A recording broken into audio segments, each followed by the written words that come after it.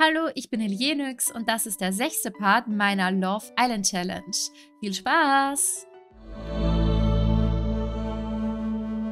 Im letzten Part mussten wir uns leider von unserem Rex verabschieden. Trotzdem sind aber tatsächlich noch acht Kandidaten und Kandidatinnen in der Villa. In der nächsten Woche findet tatsächlich auch schon unser Finale statt. Das heißt, heute werden wir Paare bilden.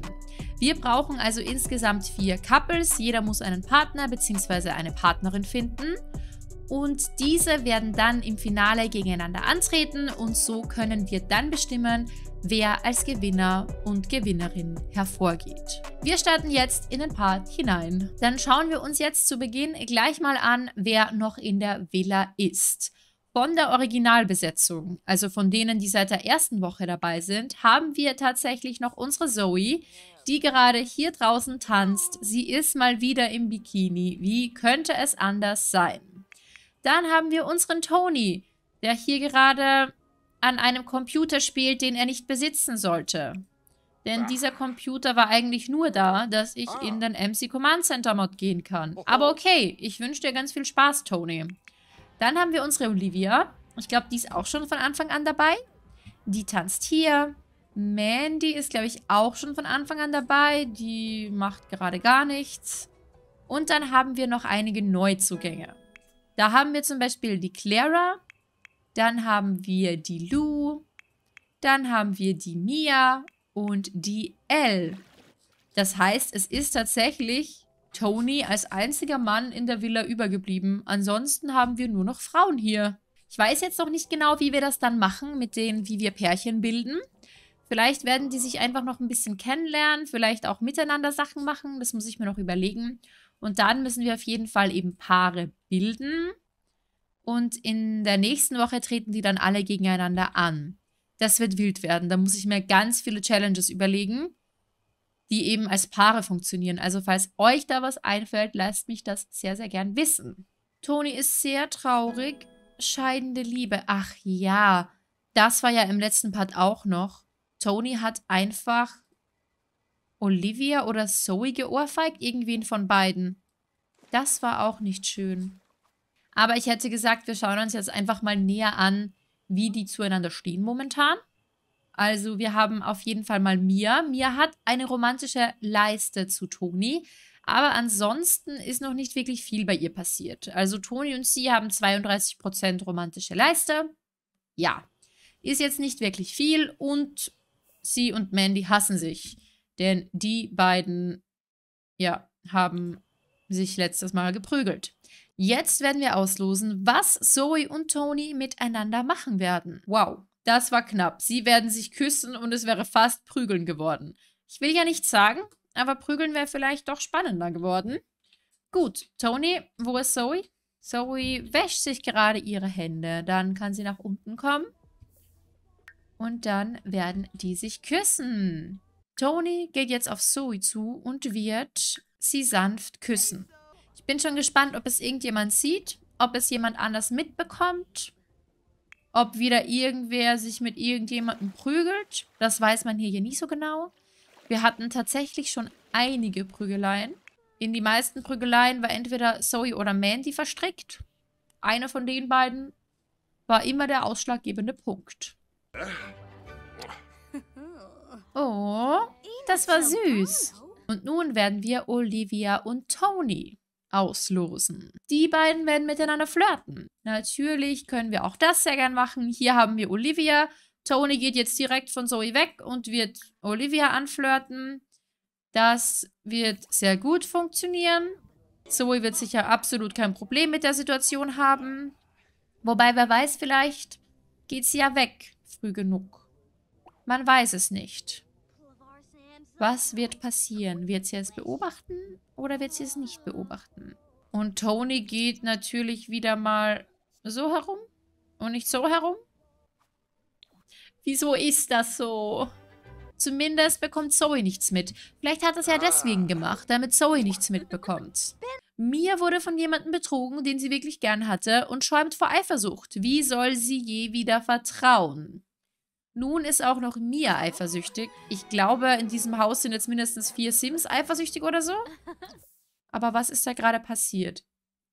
Also Mia hatte nämlich eine romantische Leiste mit Olivia? Nein, das stimmt doch gar nicht. Ach, mit Tony.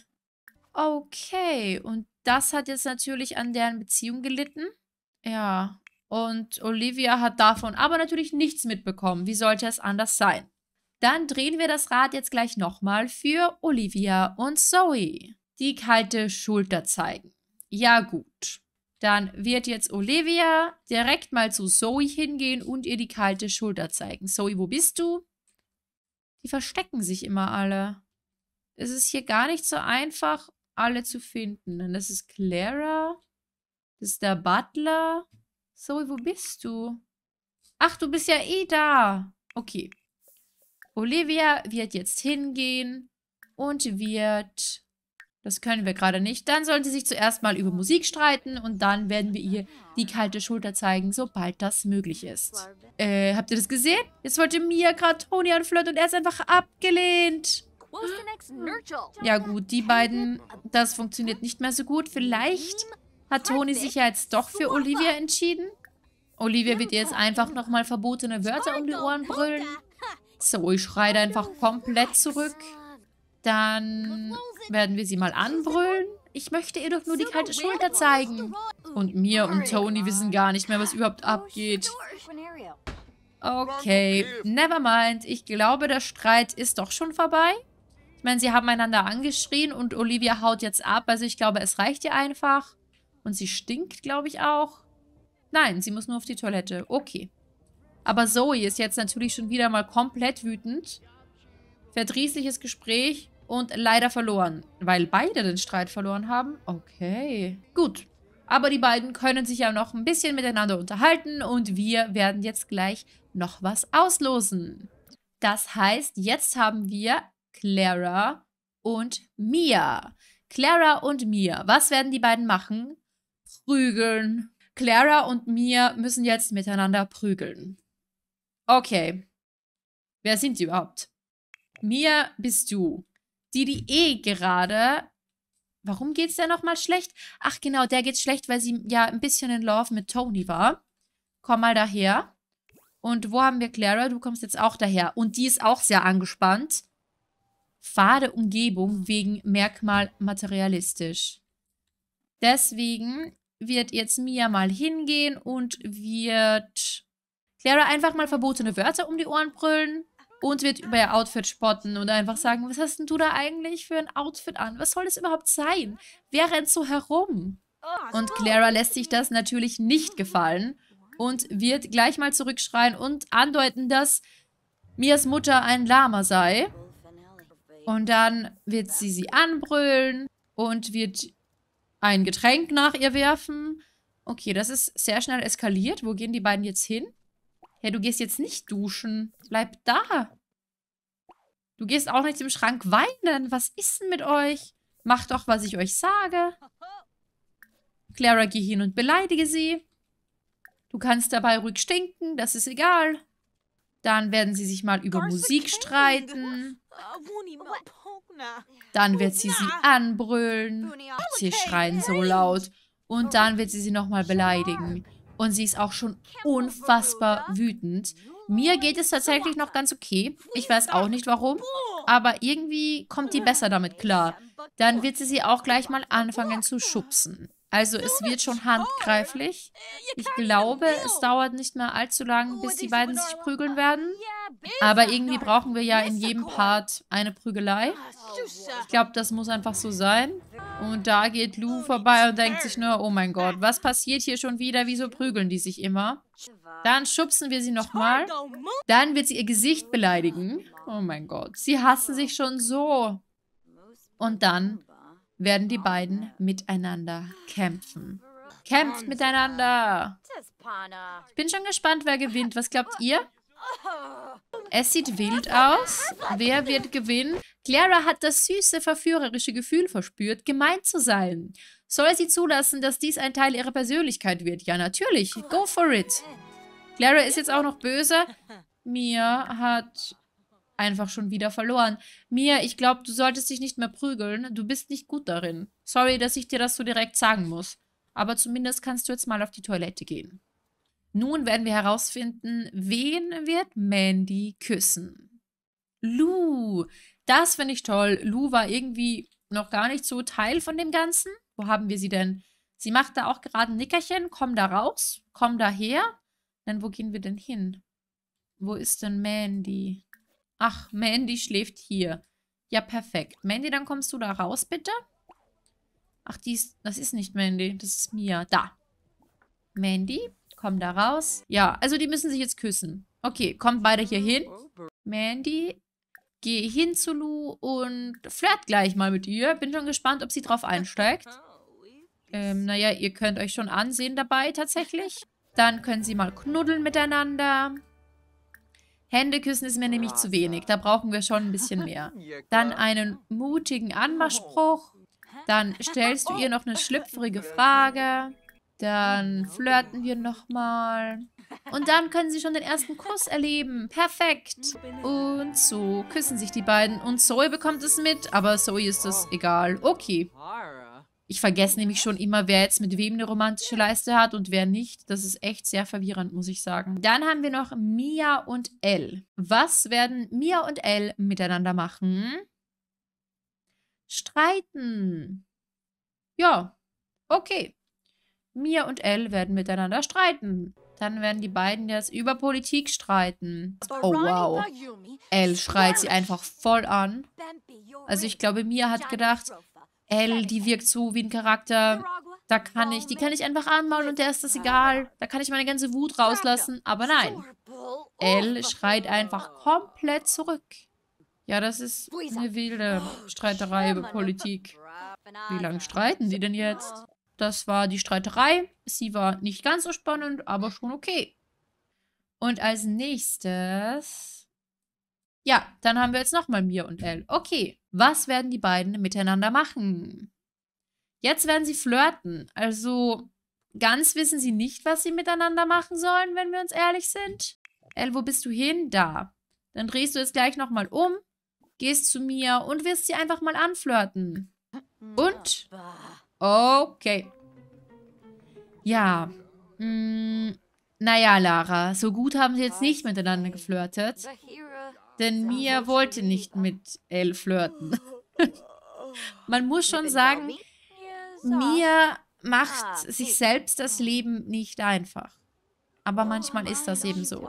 Dann werden wir jetzt einmal drehen, was werden Olivia und Tony miteinander machen? Ich glaube, das ist in eine andere Richtung gegangen, als du dir das gewünscht hast. Die beiden werden sich prügeln, Olivia und Tony. Tony, wo ist Olivia? Hier. Geh gleich mal in die Küche. Tony geht jetzt hin und wird sie einmal beleidigen. Das wird nicht gut sein für ihre Beziehung. Dann wird er ihr einmal die kalte Schulter zeigen. Dann wird er ihr verbotene Wörter um die Ohren brüllen. Dann wird er sie nochmal anbrüllen. Jetzt hat sie schon eine negative Stimmung mit ihm. Oh no. Dann wird er sie nochmal beleidigen. Dann wird er sie fragen, was sie für ein Problem hat. Ja, die Liebesleiste geht echt ultra schnell runter. Also es ist echt nicht schön, was da passiert, aber sie müssen sich prügeln.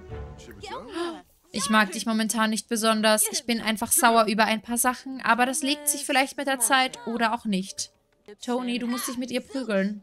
Okay. Olivia ist jetzt weggegangen. Sie ist der Diskussion entronnen sozusagen. Ich würde sagen, er rennt ihr jetzt nicht nach. Vielleicht beruhigt sie sich ja wieder, vielleicht beruhigt er sich ja wieder und jetzt ist er kokett. Ja. Also, Tony mochte ich am Anfang sehr gern. Mittlerweile bin ich mir nicht sicher, ob ich ihn gern mag, muss ich ganz ehrlich sagen. Er hat schon einige Dinge gemacht, die ich nicht so toll fand. Aber gut, dann haben wir jetzt noch einmal Zoe und Tony. Was werden Zoe und Tony miteinander machen? Sie werden sich küssen. Dann gehst du hin zu unserer Zoe und wirst sie sanft küssen. Okay, gut. Es hat ein wenig gedauert. Aber die beiden küssen sich und Toni denkt schon wieder an Techtelmechtel. Wow. Und wieder sind wir an einem Entscheidungstag angelangt, aber diesmal sieht es anders aus als bisher. Heute haben wir acht Sims und jeder muss sich für einen bzw. für eine entscheiden und mit dieser Person bildet er oder sie dann ein Paar. Und in der nächsten Runde treten alle Paare gegeneinander an, aber nur eines kann gewinnen. Und noch im Rennen sind Zoe, Olivia, Mandy, Mia, Clara, Lou, Elle und Tony. Wir werden sehen, wer mit wem in die nächste Runde geht. Wer darf als erstes sein Match wählen? Mia. Mia. Für wen wird sich unsere Mia entscheiden? Ich habe keine Ahnung. Bist du überhaupt Mia? Ja. Könnte es sein, dass Mia jetzt tatsächlich Tony wegschnappt? Denn irgendwie sieht es so aus, als würde sie sich mit Tony tatsächlich am besten verstehen. Ich meine, wobei Lou 19, L 21 und bei Tony haben wir hier auch 21, aber noch 16 Romantik. Ja, Mia wird ihr Glück bei Tony versuchen. Mia wird sich jetzt tatsächlich für Tony entscheiden und wird ihn einfach wegschnappen. Das ist jetzt einfach so. Sie wird hingehen, aber sie ist zu traurig, um ihm eine Rose anzubieten. Ja, das geht aber nicht. Das geht nicht. Wir müssen die Stimmung weggeben. Das muss... Rose anbieten muss sie können. Sie geht hin und bietet ihm eine Rose an. Er kann es noch immer ablehnen. Das wissen wir nicht. Oh, ich muss die Selbstständigkeit ausstellen. Hört auf, euch zu bewegen, Sims. Und Zoe dreht durch und Lou dreht durch und Zoe haut ab. Tony hat's abgelehnt. Zoe, komm wieder her. Stell dich hin. Mia, du kommst auch wieder her. Er hat es abgelehnt. Er wollte nicht mit dir zusammen sein. Hör auf, mit ihm zu flirten. Nachdem Tony die Rose von Mia abgelehnt hat, müssen wir nochmal ausrollen, wer als erstes nun sein Match wählen darf und als erstes wählen darf Zoe. Ja. Also, wir können uns das ja mal anschauen. Ich weiß gar nicht, wen sie am liebsten mag, aber es ist ziemlich eindeutig. Also, eigentlich mochte sie Yannick am liebsten, der ist aber nicht mehr da. Wir haben dann eben noch Tony, Elle, Olivia, Mandy, Mia, Lou und Clara. Aber es ist sehr eindeutig. Es wird Tony werden. Es ist eindeutig kann nichts dagegen machen. Deswegen wird Zoe jetzt hingehen und wird ihm eine Rose anbieten. Und wir werden sehen, ob er diese annimmt. Und dann werden die beiden zusammen in die nächste Runde gehen. Und Tony hat die Rose angenommen. Das heißt, Tony hat sich für Zoe entschieden. Und wieso wird er von Agatha Knautschgesicht angerufen? Wir würden uns freuen, wenn du uns mal wieder in Hanford am Bagley besuchen würdest. Nein, danke. Die beiden gehen jetzt zusammen in die nächste Runde. Beide sind nun weg. Das heißt, wir haben nur noch Frauen in der Runde. Und zwar haben wir noch Olivia, Mandy, Mia, Clara, Lou und Elle. Und nun werden wir gleich sehen, wer als nächstes sein Match wählen darf. Elle. Ich habe keine Ahnung, mit wem Elle sich bisher unterhalten hat in ihrem Leben. Von dir habe ich heute, glaube ich, gar nichts gesehen. Sie ist auch angespannt, weil sie arbeitslos ist. Okay. Vielleicht kriegst du durch die Love Island Challenge ja Geld. Wer weiß. Also, noch im Haus haben wir eben Mia, dann haben wir Clara, Lou, Mandy und Olivia. Aber ich glaube, es ist ziemlich eindeutig, dass es Olivia wird. Ja, 25 und 28. Ich weiß nicht, wann die beiden geflirtet haben aber anscheinend irgendwann. Das heißt, sie wird jetzt zu Olivia hingehen und wird, geh mal hin und mach ihr ein Kompliment über Aussehen. Ich hoffe, wir können ihr dann eine Rose geben. Irgendwie geht das nicht, aber dann werden sie einfach nochmal flirten und wenn das für beide in Ordnung ist, dann können sie zusammen in die nächste Runde gehen. Äh, okay. Hä? Hat sie es jetzt abgelehnt oder nicht? Zuerst dachte ich, sie hat es abgelehnt, aber ich glaube, sie hat es nicht abgelehnt. Das habe ich jetzt nicht ganz verstanden. Aber am Schluss hat sie anscheinend doch geflirtet. Gut, das war jetzt ein bisschen konfus. Aber Elle und Olivia gehen zusammen in die nächste Runde. Gut. Dann haben wir hier noch Mandy, Mia, Clara und Lou. Und als nächstes sein Match wählen darf Clara. Auch bei Clara habe ich keine Ahnung, wen sie eigentlich kennt. Ich weiß es wirklich nicht. Okay, Mia wird es schon mal nicht. Das ist ziemlich eindeutig. Dann haben wir noch Mandy, 2024. Ja, das geht eigentlich. Und Lou haben wir 25, 12. Ja, ich hätte aber gesagt, sie entscheidet sich für Mandy. Weil da einfach auch mehr romantische Leiste da ist. Deshalb wird sie jetzt hingehen und wird ihr eine Rose anbieten. Jetzt geht's wieder. Ich weiß auch nicht, wann das geht und wann nicht. Und die beiden gehen gemeinsam in die nächste Runde. Das heißt, Clara und Mandy gehen zusammen in die nächste Runde.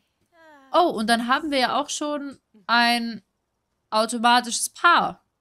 Das heißt, die beiden bilden jetzt automatisch das letzte Paar. Das ist Mia und Lou. Ich hoffe, ihr mögt euch. Mia und Lou, naja. Sie haben Freundschaft 18. Es ist jetzt nicht unbedingt viel, aber es ist vielleicht ausbaufähig. Wer weiß? Ich hoffe sehr, dass euch mein Video gefallen hat und wie immer freue ich mich über jedes Like, jedes Abo und jeden Kommentar. Und ich hoffe, wir sehen uns in meinem nächsten Video wieder. Bis bald!